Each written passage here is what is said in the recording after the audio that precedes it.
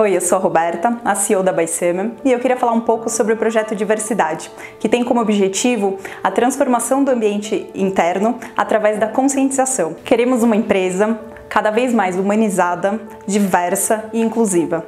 Queremos que as pessoas possam ser elas mesmas.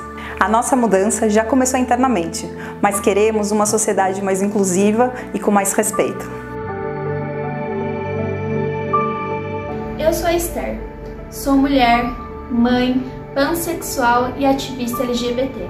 Eu trabalho na Beisâmia e com orgulho eu anuncio que temos tolerância zero com o assédio.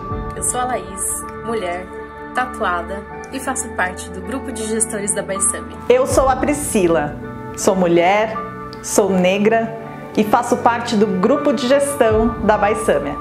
Eu sou a Sandra, sou uma mulher da terceira idade e trabalho na Baisâmia há 16 anos.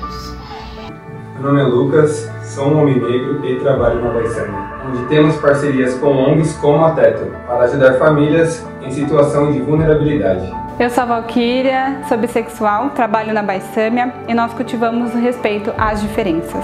Eu sou a Daniela. Eu Thiago, meu nome é João Vitor. Eu sou a Tamires. Eu sou o Edson. Leonardo. Eu sou a Roberta. Eu sou o Daniel. Meu nome é Thaís. Eu sou o Marlon. Eu sou a Jandiele. Eu sou o Guilherme. Eu tenho orgulho em trabalhar na Baissâmia.